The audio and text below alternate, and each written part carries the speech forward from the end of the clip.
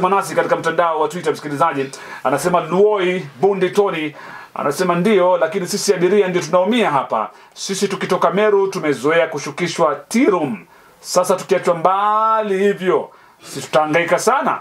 mtapata tabu Full dose sema namna hiyo. Alex Mulombi anasema wananchi wanaojenga uchumi kila siku ndio wanaopitia shida na matatizo mengi kila uchao. Nairobi County Government could have come up with a better plan. Maoni yake hayo. Alekia Ngosh 254 anasema sikubaliani na hilo agizo. Kwa mfano mimi natoka Ruaka nishukishwe Ngara, naenda kazi industrial area, inabidi nitembee kutoka Ngara hadi Mudhurwa. Hayo ni mateso aina gani jamani? What? Sema nasi msikilizaji, nambari ya simu ni 0700936000 Milele Fema do. Sema nasi. Ndio. nasema Ah.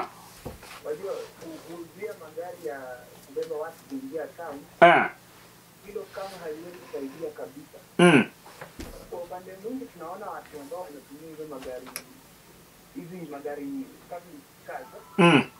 wengi wao wana wako na private cars Okay. kwa hivyo vile wamesema hakuna public cars kuingia town Mm. ha- hao wenye walikuwa wanatumia private cars na vitu kama hizo Mm. wata All right. ya private cars Mm.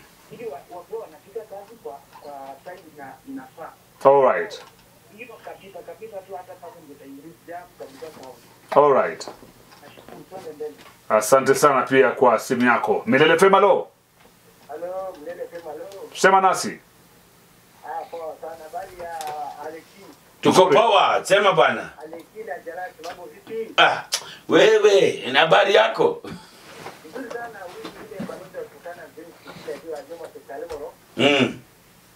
unajua kweli kabisa mimi mimi naunga mkono hiyo sekta ya ninaunga mkono serikali ya kaunti ya Nairobi sawa Mm. Mkono hivyo.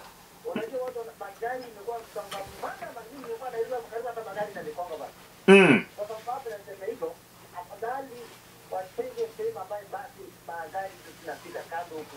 Sababu sawa unaweza kukuta mtu ako na hawa jamaa hawa wale ambao wale matatu wale wale hekima kabisa. Kwa sababu yaani wanakosa hekima kabisa kwa sababu ndio naona wengine serikali mambo kwa watoa Asante sana kwa maoni yako. Duke Lewan anasema if Nairobi CBD would have many exits from town, I think ingesaidia sana kucontrol traffic. Maoni yake hayo. Milele Fema lo. hey, Halo?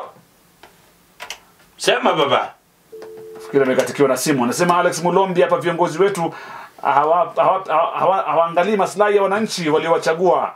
Eh, lakini wao wanaangalia maslahi mengine. Tunayaona Nairobi CBD ni upuzi na unyanyapaa. Viongozi wa matatu wangeshirikishwa kwanza ili angalau tupate suluhisho zuri zaidi. All right. Hello. Milele Fema lo. Sema. Hey. Sema. Hello. sema baba Ewe. Hello, Milele FM. Hello. Milele Fema alo. Halo, Sema. habari leo. Nzuri. Ongea na dada kutoka Mombasa. Naam. Nasema hivi, Mm. watu wanatuumiza hao wakubwa kwa Mm. sababu Mm. kitu kesho utampishaje mbali na atembee na kesho utamhitaji. Mm. Kesho unamhitaji kura yake, Mm. kesho unamhitaji akusaidie na yeye mwenyewe wakati huo anafunga macho kwa kuangalia. Mm. Mm. Asante kwa maoni yako dadangu. Milele FM, alo. Sema nasi. kutoka hapa mwenyewe gari hapa Yes. Alexi bwana mimi nikichangia mjadala hii yetu Mm. bwana wafanya vizuri kupunguza magari magari zilikuwa nyingi hapa tauni bwana ukienda kwa maoni yako dadangu. unatoa fema do. Sema nasi. Yes. Mm.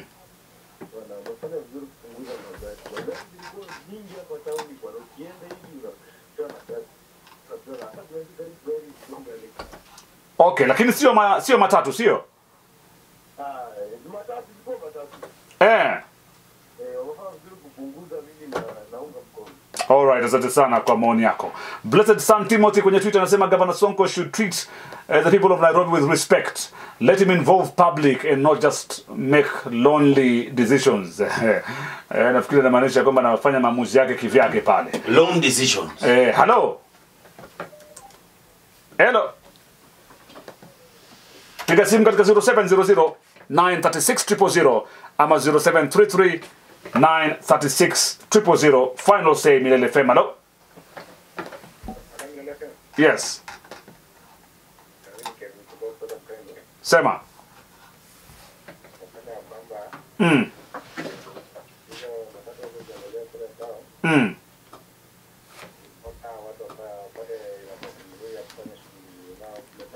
All right. Asante kwa maoni yako. Zinatimia saa tatu asubuhi, msikilizaji, hapa ndani ya Milele FM, home of African hits. Tunapata habari za milele naye Joseph Wahungu. Nafikiri ni swala ambalo litajadiliwa sana kwa wiki hii nzima na kwa siku nyingi zijazo kuhusiana na matatu, na natumai kwamba kila mmoja atafurahi, wale ambao wako kwenye sekta ya matatu, wananchi ambao wanatumia usafiri wa matatu, pamoja na wale ambao wanatumia usafiri wa kibinafsi na hata Nairobi City County pia. Hatimaye kusiwe na mmoja ambaye analia zaidi ya mwenzake. Ndo kivumbi hiki.